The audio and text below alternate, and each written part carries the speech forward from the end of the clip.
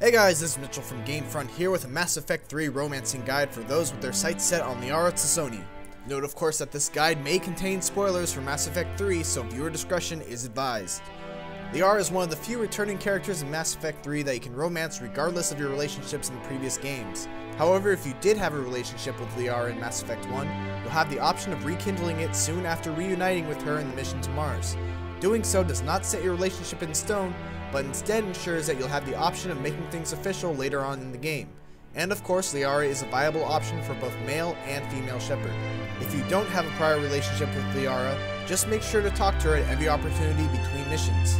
Also make sure to check your terminal for a message from Liara calling you up to check on a project of hers involving how history will remember Commander Shepard. Eventually you'll get a message from Liara asking you to meet her in the Presidium Commons at the Citadel, and you'll be able to take your friendship to the next level. But of course, this will only work if your intimacy level is high enough and you have not already committed yourself to another relationship. Even after sharing the kiss, make sure to keep up with your relationship by visiting Liara after the events on her home planet of Thessia.